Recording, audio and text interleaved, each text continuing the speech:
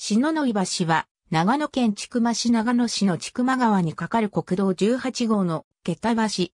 口述の通り、篠ノ井橋は、古くからの街道の要衝にあって、古くから架橋された。供用中の橋は、永久橋としては2代目及び3代目。篠ノ井橋、新篠ノ井橋篠ノ井橋篠ノ井地域は、江戸時代には、北国街道が通る交通の要衝であった。1872年には、千曲川の社の渡しに12艘の船を並べ、長さ約80メートル、幅約3メートルの船橋が架橋された。北国街道は1885年の内務省、国時代6号国道表により、国道5号に指定された。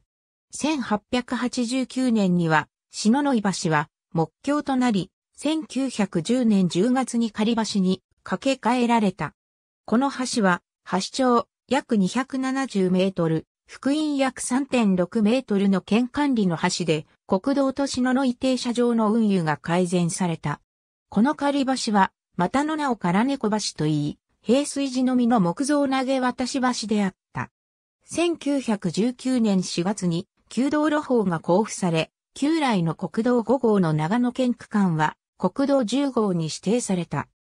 1923年2月28日に篠ノ井と社を結ぶ国道10号の篠ノ井橋の仮設工事が着工され、取り付け道路工事の進捗が悪く、渡らずの橋などと揶揄されたが、約4年後の1927年10月に竣工し、11月22日に開通した。総工費は約55万4千円であり、道路費は約15万千円を占めた。国庫から橋の建設費に3分の2、取り付け道路については2分の1の補助がなされた。永久橋の開通に対し、篠ノ井町長をはじめ、地元は冷ややかな受け止めであった。この初代永久橋は、増田厚氏の設計による。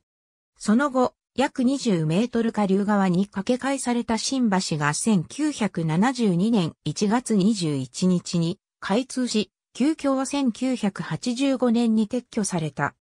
さらに、交通量の増大に伴い、1986年度に高速拡幅が事業化され、上流側に新篠の井橋が仮設され、高速拡幅は1994年度に事業を完成した。ありがとうございます。